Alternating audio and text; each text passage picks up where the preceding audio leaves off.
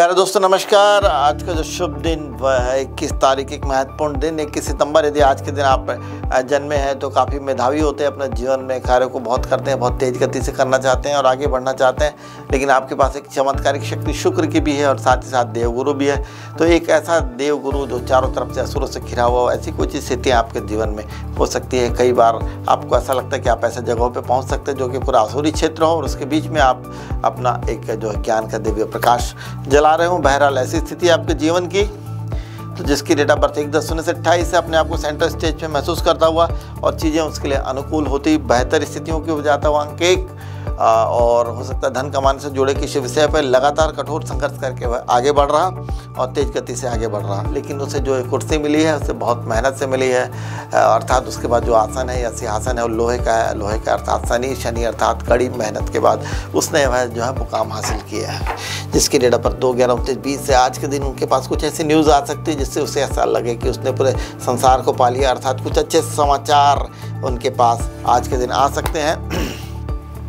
और आज के दिन पशुओं से जुड़ा कुछ क्षेत्र पे कुछ विषयों पे आप हो सकता है, पशुओं को कुछ अन्न का दान कर सकते हैं या कुछ चीज़ें आप डोनेट कर सकते हैं, ऐसी कुछ स्थितियाँ आज के दिन आपके लिए पास आ सकती है, जिसकी डेट ऑफ़ बर्थ तीन बारह इक्कीस तीस है।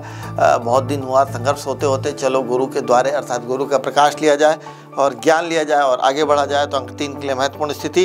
इस प्रकार से तो अपने गुरु की शरण में जाते हुए अर्थात एक छोटा सा प्रकाश उन्हें जो है उनका मार्ग बताता हुआ, जिसकी डेट ऑफ़ बर्थ चार, तेरह, बाईस, इकतीस है, उनके लिए दिन शुभ नहीं कार्य क्षेत्र, थोड़ी सी रुकावट घबराहट तनाव की स्थितियाँ बन सकती हैं या फिर मन में विषाद की स्थितियाँ। और समय जो है अनुकूल नहीं लगता हुआ, जिसके लिए नंबर पाँच, चौदह, तेईस, आज के दिन धन के विषय पर विचार विमर्श करता हुआ कि धन कहाँ से आए और कैसे आए।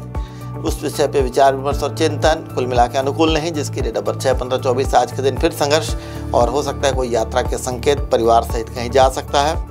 और कई बार ऐसा लगता है कि संघर्ष बहुत हो चुका, अब थोड़ा सा आराम चाहिए, दिल को थोड़ा सा विराम चाहिए, इसलिए अंक छः थोड़ा सा आगे जाता हुआ तो प्यारे दोस्तों, जिसकी डेट ऑफ़ बर्थ सात, सोलह, पच्चीस है, उनके लिए जो आज का दिन है, थोड़ा उतार चढ़ाव से युक्त समय, अनुकूल नहीं, पाँव जमाना तो चाह रहा, लेकिन पाँव जम नहीं पा रहा।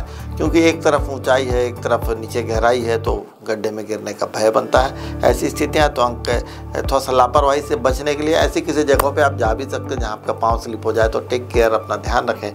तो आपके लिए बेहतर होगा, जिसकी डेट ऑफ़ बर्थ आठ, सत्रह, छब्बीस है, उनके लिए जो समय अनुकूल और धन से जुड़े क्षेत्र पर कुछ नया प्लान बनाकर तेज़ गति से काम करने का उसका प्लान बनता हुआ और आगे बढ़ने के लिए उसकी चर्चाएँ चलती हुई, कुल मिला के एक योद्धा की भांति अंक आठ आज के दिन चलता हुआ, जिसकी डेट ऑफ़ बर्थ नौ, अट्ठारह, सत्ताईस है तो लंबे समय तक जो उसने मेहनत की है, अब समय आ चुका है कि हो सकता उसका उन्हें पुरस्कार मिले।